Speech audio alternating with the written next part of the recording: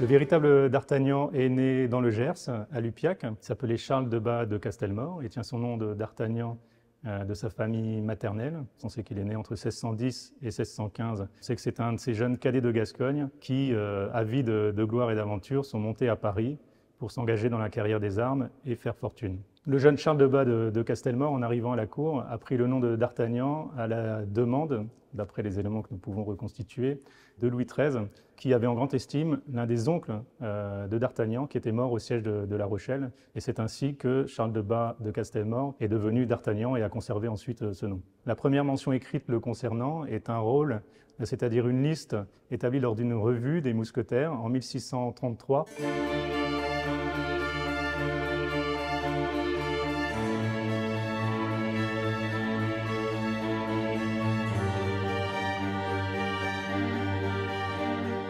À ce moment-là, D'Artagnan passe au service de Mazarin, dont il devient l'un des hommes de confiance et qu'il servira avec euh, une grande fidélité et beaucoup d'efficacité pendant les troubles de la Fronde. Il gagne donc la confiance de Mazarin et progressivement également la confiance du jeune roi euh, Louis XIV, qui le prendra ensuite à son service. En 1657, la compagnie des mousquetaires est reconstituée et D'Artagnan en est nommé sous-lieutenant. Et il dirige vraiment euh, l'unité dans les faits, à un moment où Louis XIV structure son armée structure également la maison militaire dont font partie euh, les mousquetaires. Les mousquetaires du roi sont une unité qui a été créée par Louis XIII en 1622, à un moment où le roi de France a besoin de renforcer sa garde personnelle. On se place là à un moment où il y a eu deux régicides, deux rois euh, qui ont été assassinés, Henri III en 1589 puis Henri IV en 1610. Louis XIII décide de renforcer sa garde par cette unité qui est dotée de mousquets, qui est à la fois une unité qui sert à pied, à cheval, une unité d'élite donc euh, de 100 hommes à ce moment-là.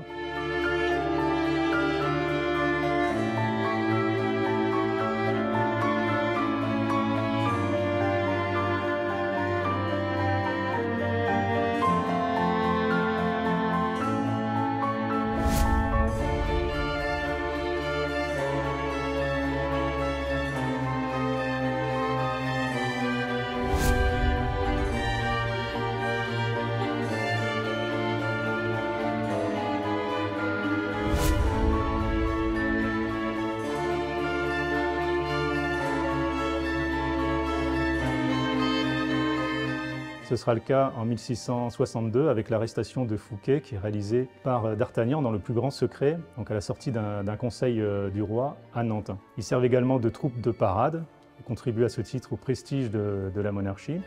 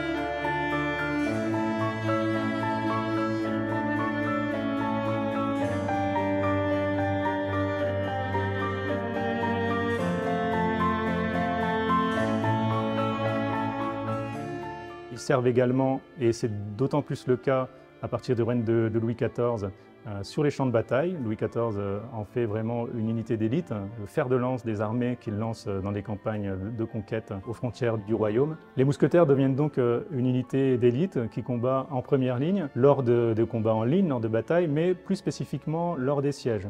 C'est même une spécialité de ces mousquetaires. Les mousquetaires participent aux assauts qui sont une des phases déterminantes euh, des sièges, à une époque où, grâce à Vauban, la rationalisation des opérations de siège permet de compter moins sur la force brute que sur un assaut euh, rationnel, structuré, progressif. Mais il n'en reste pas moins qu'il est nécessaire d'emporter des ouvrages de la place qui est euh, assiégée, et pour cela, on a besoin de troupes d'élite, de troupes de choc.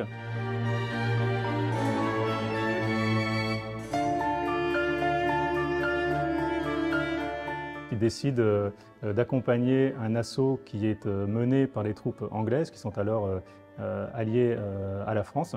D'Artagnan part donc à la tête de quelques mousquetaires pour venir en appui des troupes qui mènent cet assaut sur la, demi-lune de la porte de Tongres. Et alors qu'il veut franchir une, barricade, il est frappé à la tête, a priori, par une balle de mousquet tirée par les défenseurs hollandais.